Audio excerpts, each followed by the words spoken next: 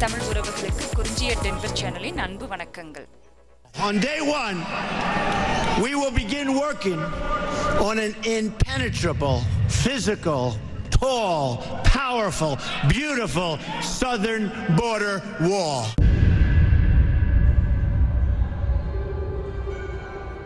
Go over my wall. It's a wall for the wall. இதுதான் ரெண்டாயிரத்தி பதினாறு தேர்தல் பிரச்சாரத்தின் போது ட்ரம்ப் அவர்கள் கொடுத்த முக்கியமான வாக்குறுதி அவர் சொன்ன அழகான அந்த சுவர் எப்படி இருக்கும்? ஒருவேளை இந்த சீனா வால் மாதிரி இருக்குமா?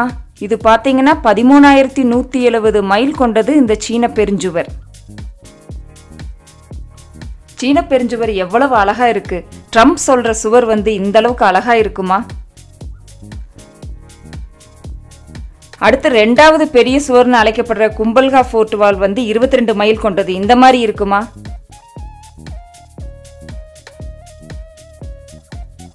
அந்த எல்லைச் சுவர் வந்து ஆயிரத்தி தொள்ளாயிரத்தி ஐம்பத்தி நாலு மைல்கள் தூரம் கொண்டது என்னென்ன மாநிலங்கள் அதில் வருதுன்னு பார்த்தீங்கன்னா Texas New Mexico Arizona California ரெண்டாயிரத்தி பதினாறுல இந்த சுவர் எப்படி இருக்குன்னு ட்ரம்ப் சொன்னது I'll tell you what it's going to be made of. It's going to be made of hardened concrete. Impenetrable, physical, tall, powerful. Trump வந்து இந்த சுவர் திட்டத்திற்கு விடாப்பிடியா இருக்காரு ஆனா அதுக்கு எதிர்க்கட்சியான ஜனநாயக கட்சி வந்து எதிர்ப்பு தெரிவிச்சிட்டு வர்றாங்க எதிர்கட்சியோட எதிர்க்கட்சியோட வேலையே என்னன்னு பார்த்தீங்கன்னா ஆளும் கட்சி என்ன கொண்டு வந்தாலும் அதை எதிர்க்கிறதான் அதுவும் இந்த ட்ரம்ப்போட சுவர் திட்டம்ங்கிறது அவ்வளவு சுலபமானது இல்லை. இந்நிலையில ட்ரம்ப் வந்து டிவியில் மக்களுக்கு ஆற்றின உரையில் என்ன சொல்றாருன்னா அமெரிக்காவில் வந்து வெளிநாட்டினர் சட்டவிரோதமாக ஊடுருவுகின்றனர். மெக்சிகோ எல்லை வழியா போதைப் பொருளை எல்லாம் கடத்தி அமெரிக்காவோட பாதுகாப்புக்கே அச்சுறுத்தலாக இருக்கிறாங்க. இதுக்கு தடுப்பு சுவர் தான் முடிவு. அதனால தான் நான் தடுப்பு சுவர் கட்டணும்னு நினைக்கிறேன். ஆனால் அதுக்கு எதிர்க்கட்சி ஜனநாயக கட்சி வந்து எதிர்ப்பு தெரிவிச்சிட்டு வருது. இதனால் அவங்க எத்தனை அமெரிக்கர்கள் வந்து ரத்தம் சிந்த வேண்டும்னு எதிர்பார்க்குறாங்கன்னு தெரியல. எத்தனை விதமான படுகொலைகள் இந்த மாதிரி எல்லை ஊடுருவங்கள் மூலமாக நடைபெற்று வருது. இதையெல்லாம் வந்து ஊடகங்கள் ஏன் எடுத்து சொல்கிறதே இல்லை அப்படின்னு கேள்வி கேட்குறாரு அதுக்கு ஜனநாயக கட்சியான எதிர்க்கட்சி என்ன சொல்லுதுன்னா ட்ரம்ப் இந்த மாதிரி விடாப்புடியாக இருந்தால் நாங்கள் அவர் மேலே சட்டபூர்வமான நடவடிக்கை எடுக்குவோம் அப்படின்னு சொல்கிறாங்க அதனால ட்ரம்ப் வந்து இப்போ கொஞ்சம் இறங்கி வந்து கான்கிரீட் வாலுக்கு பதிலாக இப்போ இரும்புலான தடுப்பு வேலி அமைக்கலாம். இரும்பு கம்பிகள் பலமானதாக இருக்கும் அப்படின்னு சொல்லிட்டு வர்றாரு.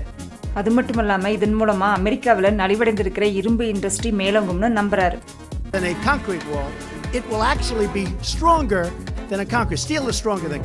டொனால்ட் ட்ரம்ப் வந்து ஜெயிச்ச புதுசில் மெக்சிகோ தான் இந்த வாளுக்கு பே பண்ணணும்னு சொல்லிட்டு இருந்தாரு. ஆனால் மெக்சிகோட முன்னாள் அதிபர் வந்து இந்த மாதிரி ஸ்டூப்பிட் வாளுக்கு நாங்கள் பே பண்ண முடியாதுன்னு சொல்லிட்டாரு. And Mexico will pay for the wall. We are not paying for that stupid wall. Build it if you want with the U.S. taxpayers' money. இந்த எல்லை சுவர் கட்டுறதை ட்ரம்ப் மட்டும்தான் செய்யறாரா இதுக்கு முன்னாடி இருந்தவங்க செஞ்சிருக்காங்களான்னு பார்த்தீங்கன்னா கடந்த முப்பது வருடமா வந்து ஆட்சியில் இருந்த ஜார்ஜ் புஷ் ஒபாமா அவங்களும் வந்து இந்த மாதிரி ஊடுருவலை தடுக்க அங்கங்கே எல்லை சுவர் கட்டிட்டே இருக்காங்க ஸோ அதிலிருந்து பார்த்தீங்கன்னா இருபது லட்சம் பேர் ஊடுருவலை தடுத்திருக்காங்க ஸோ இந்த மாதிரி இரும்பு கம்பிகளான எல்லை சுவர்களையும் கட்டியிருக்காங்க. இதனால் வந்து எதிரில் இருக்கிற மெக்சிகோவோட எல்லையை நம்ம பார்க்க முடியும். ஸோ இந்த மாதிரி முட்கம்பி ரெண்டு அடியில் இருக்கக்கூடிய நீளத்தில் இருக்கிற முட்கம்பி மாதிரியான எல்லை சுவர்களையும் கட்டியிருக்காங்க. இந்த மாதிரி நீளமான ஐந்து அடி ஆறு அடி தூரம் கொண்ட எல்லை சுவர்களையும் கட்டியிருக்காங்க. இதுதான் ட்ரம்ப்போட திட்டத்தில் இருக்கிற எட்டு மாதிரிகள். இதை வந்து பார்வையிட்டுட்டு போய் அவர் இன்னும் எந்த முடிவுமே சொல்லலை. ஏன்னா காங்கிரஸ் மற்றும் ஜனநாயக கட்சியோட அப்ரூவலுக்காக அவர் வெயிட் பண்ணிட்டு இருக்காரு. எதிர்க்கட்சி என்ன சொல்லுதுன்னா உள்நாட்டு நிதியை இந்த மாதிரி திட்டத்துக்கெல்லாம் ஒதுக்கிட்டு இருந்தா நாட்டோட நலத்திட்டங்களுக்கு பணம் இல்லாம போயிடும் அப்படின்னு அதோட எதிர்ப்பை தெரிவிச்சிட்டு வர்றாங்க. ஆனா ட்ரம்ப் வந்து விடாப்படியா இந்த திட்டத்தை செயல்படுத்தியே ஆகணும்னு விடாப்படியா இருக்காரு. இந்த மாதிரிகளுக்கு பக்கத்திலேயே சில அடி தொலைவில் தற்போது இருக்கிற எல்லைச்சுவர் இருக்கு. அது பார்த்தீங்கன்னா நல்லா பழுதடைஞ்சிருக்கு. சில இடங்களில் சுரங்கப்பாதையெல்லாம் அமைச்சு உள்ளே வந்திருக்கிறாங்க. ஸோ சில இடங்களில் வெட்டி எடுத்து அதை உள்ளே வர முற்பட்டிருக்காங்க. அந்த மாதிரி இடங்களில் பார்த்தீங்கன்னா கல்லை வச்சு அதை அடைச்சி வச்சுருக்காங்க அந்த சுரங்கப்பாதை இதுகளையெல்லாம் மொத்த எல்லை வந்து ஆயிரத்தி தொள்ளாயிரத்தி ஐம்பத்தி நாலு மைல்கள். அதில் வந்து பார்த்தீங்கன்னா ஆயிரத்தி இரநூத்தி எழுபத்தி ஒம்பது மைல்களுக்கு சுவர்கள் தேவை. ஆனால் ட்ரம்ப் வந்து இப்போ ஐநூற்றம்பது மைலுக்கு மட்டும் சுவர் வச்சா போதும். மித்த இடங்கள்ல பாருங்க ஆறுகள் மலைகள் கால்வாய்கள்லாம் இயற்கையான தடுப்புகளாக இருக்கு. அதனால ஐநூற்றம்பது மைலுக்கு மட்டும் தடுப்பு சுவர் தேவை அப்படின்னு ட்ரம்ப் சொல்றாரு. அதனால ட்ரம்ப் என்ன பண்ணாருன்னு பார்த்தீங்கன்னா இந்த ஆண்டு வந்து பட்ஜெட்டை நாடாளுமன்றத்தில் நிறைவேற்றல அதனால கடந்த ஒரு மாதமாக பாதி அரசு அலுவலகங்கள் செயல்படாம இருக்கு. அரசு அலுவலர்கள் வந்து பெரும் துன்பத்துக்குள்ளாயிருக்காங்க. இவர் திட்டத்தில் இருக்கிற எல்லை சுவருக்கு அஞ்சு புள்ளி ஏழு பில்லியன் டாலர் வேணும் அப்படின்னு சொல்றாரு. அதாவது நம்ம ஊர் மதிப்புக்கு பார்த்தீங்கன்னா நாற்பதாயிரம் கோடி ரூபாய். அதையும் வந்து ஜனநாயக கட்சியான எதிர்க்கட்சி தர முடியாதுன்னு எதிர்ப்பு தெரிவிச்சிட்டு வர்றாங்க. ட்ரம்ப் வந்து இந்த எல்லைச்சுவரை ரெண்டாயிரத்தி இருபதுல வரக்கூடிய ஜனாதிபதி தேர்தலுக்குள்ள முடிக்கணும்னு திட்டம் வச்சிருக்காரு.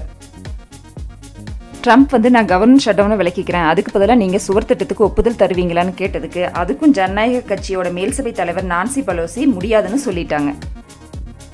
We're not doing a wall. Does anybody have any doubt that we're not doing a wall? Trump wall வரலாற்றில் இடம் பிடிக்குமா? பொறுத்திருந்து பார்ப்போம். உங்களுக்கு பிடிச்சிருக்கும் நம்புறேன். ட்ரம்ப் வால் உலக வரலாற்றில் இடம் பிடிக்குமான்னு உங்களோட கருத்தை கமெண்ட் பாக்ஸில் எங்களுக்கு சொல்லுங்கள்